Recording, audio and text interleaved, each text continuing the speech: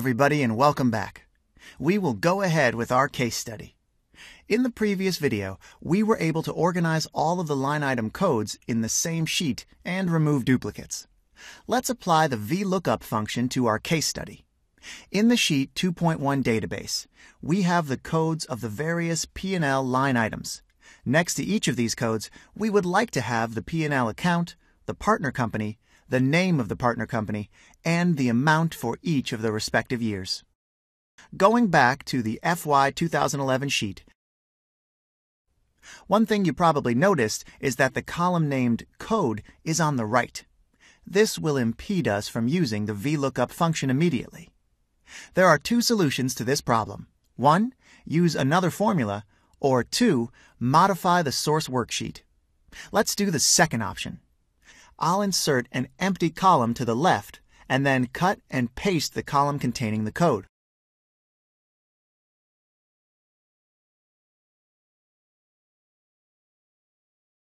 This would allow me to perform a VLOOKUP function for the P&L account, partner company, and name of partner company.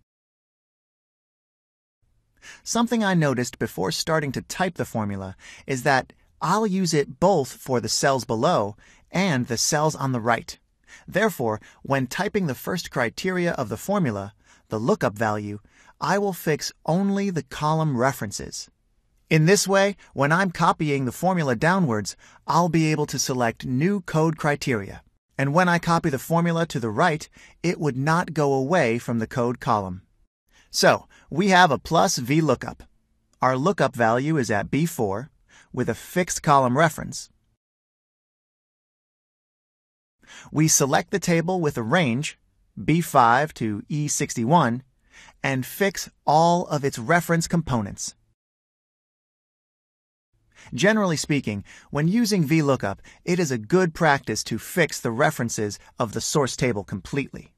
The P&L account is the second column of the source table, so we select 2 as a third argument of the function. The fourth argument will be false because we are looking for an exact match.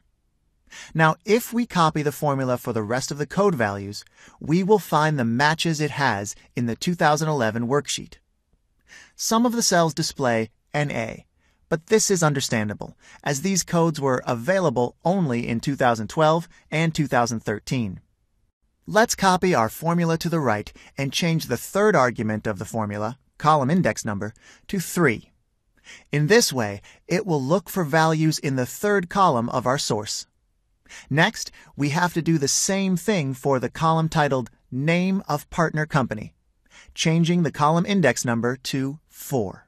You probably noticed these X's I put on the bottom of the page. They allow me to quickly go to the bottom of the data table and paste the formulas I am working with. I recommend you do the same thing as this allows you to be much faster. We have to deal with all of these NA results now. We will have to redo the VLOOKUP function for 2012 and 2013. I will go to the first unavailable result and start from there, selecting the arguments in the exact same way we did it for 2011 and fixing the formula references in the same way. Only the column reference is fixed for the lookup value the whole source table is fixed, and then 2 is the column index number. Let's go to the right, copy, and change the column index number to 3. Now again, let's go one more time to the right and copy our formula, changing the column index number to 4, as we are looking for matches in the fourth column of the source. Pasting these formulas to the bottom, we are able to update the results of all values which we did not have in 2011, but we had in 2012. Now we need to do the exact same thing for 2013. We go to the source of 2013 data and redo the VLOOKUP formula, starting from the first NA result.